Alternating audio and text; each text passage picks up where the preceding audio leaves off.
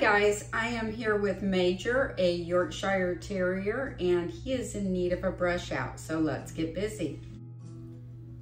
It's very important to use an anti-static conditioning spray when you are brushing out a dog.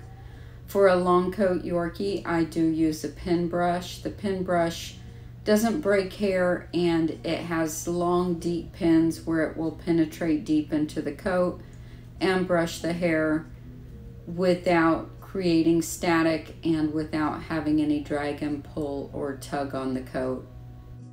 So we just work evenly all around the dog, brushing over the coat just to break it up and to locate the tangles, figure out where we are, uh, where the trouble spots are.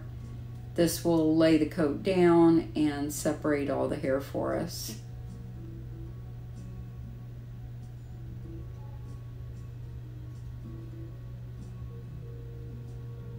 Once I get all the way around the dog, getting all the hair broken up, laid down, and separated, then I will locate any tangles that I need to work on.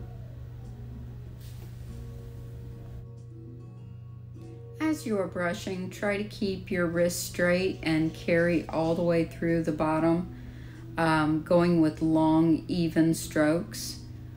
It's good to not try to tease the hair or whip the hair up and break it.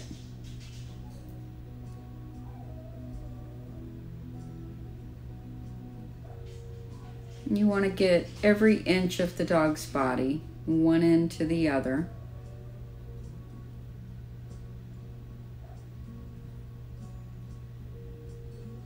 Getting under the tail, under the neck, behind the ears, up under the arms. So now he looks pretty well brushed, doesn't he? And so many times when pet parents bring their dogs in, they'll say, but I just brushed him. He couldn't possibly have any tangles. And many times we feel that they don't. We feel like we did a really good job. But you have to use a comb to check and see if you got the tangles out. And as you can see here, we have found one. So what I do is I isolate that tangle and get all the good hair away from it and then start breaking it with my fingers. Not necessarily breaking the hair, but breaking the mat apart, reducing the size of the mat and trying to actually save hair by doing it this way rather than getting a slicker brush or a mat breaker. It's better just to pick it apart with your fingers.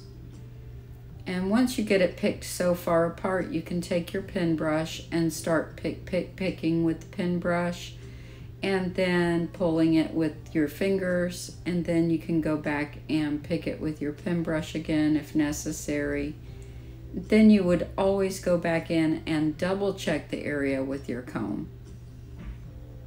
So we're going to check it and we found more. So we're going to isolate that one. And repeat the process, picking it apart with our fingers. And you do not stop when you are doing this. You want to complete the job at least that same day. If you have to put the dog up and go back later, it's fine. But that same day, you want to be sure to get a comb from one end of the dog to the other. And as you can see, I already thoroughly brushed him. So it's not so much the brushing as it is checking with the comb. And the comb is never used to pull out mats. It's only used to check for mats. It's used to straighten the hair, to set the part, and to be a checking tool to see if your brushing is finished. And when you cannot get a comb through the hair, your brushing is not finished. So the comb is the most important tool. It's all about the comb, guys. So now we're going to check again, and we have this outer leg comb through a bowl. So this outer leg is done. This front leg appears to be done. We will turn him and separate this hair again and pick up our checking tool and uh-oh, we have found another tangle. Isolating it. Here you can see it. And pick, pick, pick it with our fingers, breaking it apart. Pick with the brush. And you notice I am not picking up a slicker brush to get the, these knots out of a long coat. If this were a shorter coat, say three inches or less, yes, I would be tempted to use a slicker. But because this is a long, full, silky coat, a slicker would absolutely be the wrong tool. This coat type and this length of coat is just like human hair. And any loose hair that naturally comes out the pin brush would be sufficient, guys. No slicker brush on a coat this long, this silky, ever. And, you know, sometimes you'll see me recommend the long pin slicker brush if we are working on a thicker coat, say a Coton or a Shih Tzu. But this silky fine hair is fragile and the pin brush on coats three inches or longer is the tool to be used. So we're just continuing on, locating any mats, picking them apart with our fingers, pick, pick, picking with the pin brush, and going back and checking with the comb. That's a good boy. You notice I'm remisting it with the leave-on conditioner. This reduces static and gives the comb a slide through the coat.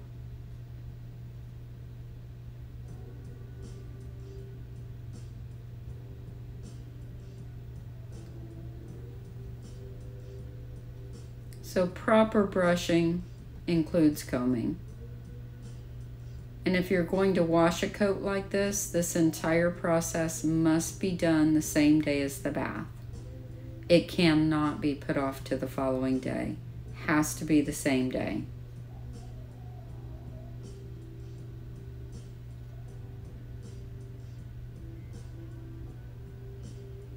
We're not done yet. You know, it's funny how the brush was just gliding over his coat like everything was fine.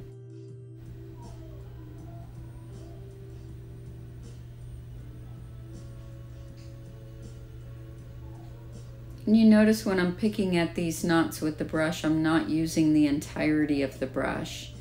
I'm just using a corner because you don't need the whole brush to drag over that. It would pull on the coat more. So just pick, pick, picking with the piece of the brush is much better. So we're continuing to work around the dog. Looks like we're able to get a comb through most of them at this point. Gently gliding the comb over the coat. Now we'll start working on the face.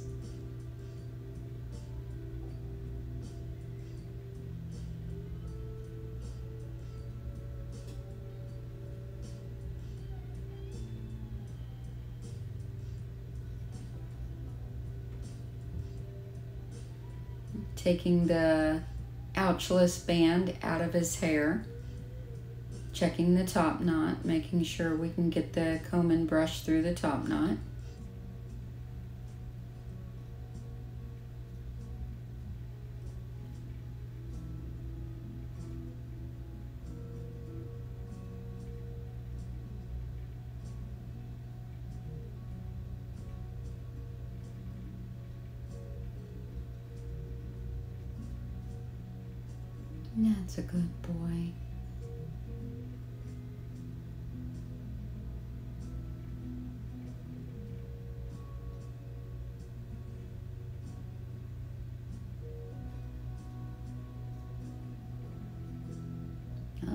another one.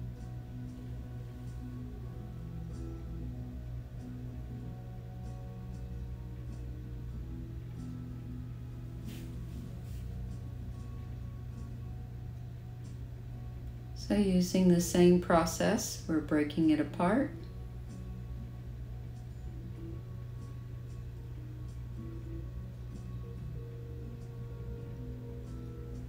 And you can see how much gentler of a process it is when you're using your fingers to pull the mat apart. These aren't really even mats, these are more tangles, but they will quickly turn into mats if you don't do this entire process. Yorkies with this much coat need to have this process done every five days. It cannot go longer than five days. If I have my own dog with coat this long, which I've had several, I wash and blow dry the dog every five days and do the full brush and comb out at that time.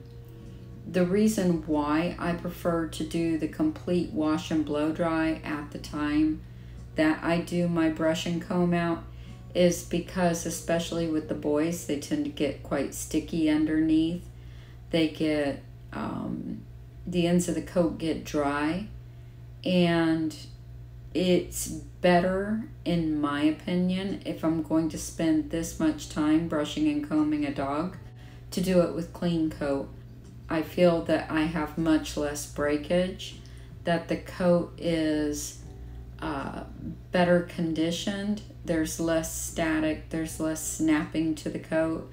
I just feel it's worth my time to wash and condition, brush and comb every five days. It really helps me to maintain an absolutely beautiful coat. So to get to the underside, I train dogs to lay on their back. To get a dog to lay on their back, typically you will just lay them over just as I did with him and if they're fussy, you can just scratch their chest and encourage them to stay in place. This takes a little bit of training, but it's not hard at all to do. So because we keep full belly hair on males like this that are growing excessive coat, we do need to make sure that the hair on their sheath stays tangle free. I do not recommend using a belly band on a boy in full coat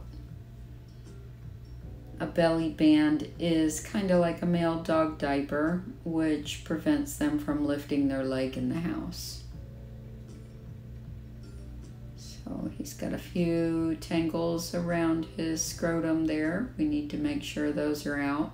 You can't leave any tangles in the coat at all. You must get them all out at the time of the brush and comb. Otherwise, they'll just get worse and become more and more difficult.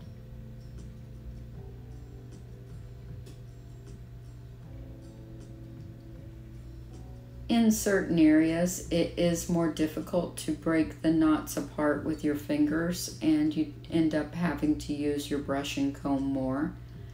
That would be true on the lower legs, up under the arms, certain areas where it's really difficult to, to pick apart the mat or the tangle.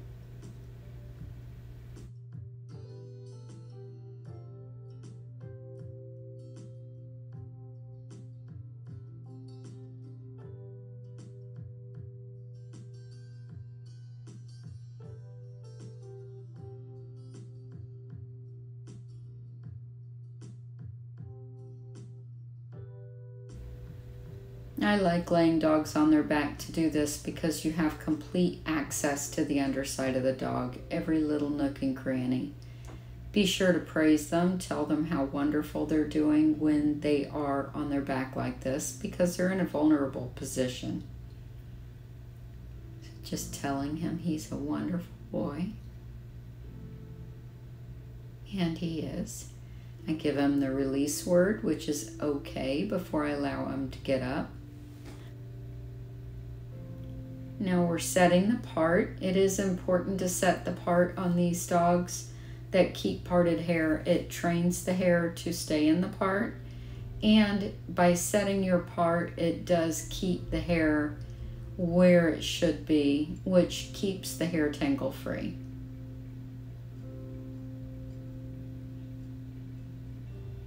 This final comb through keeps all the hair going where it is supposed to It's not just for looks. It does help to prevent knotting.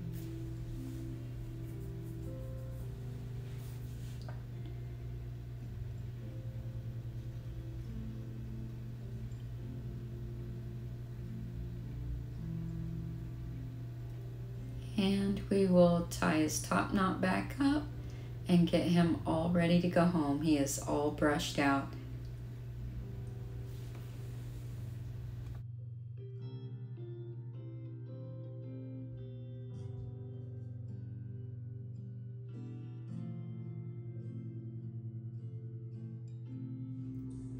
Thank you guys for watching. Be sure to like this video, subscribe to our channel, and don't forget to hit the notification bell so that you don't miss a single upload. Please share this video wherever you can, and we'll see you next time, guys. Bye.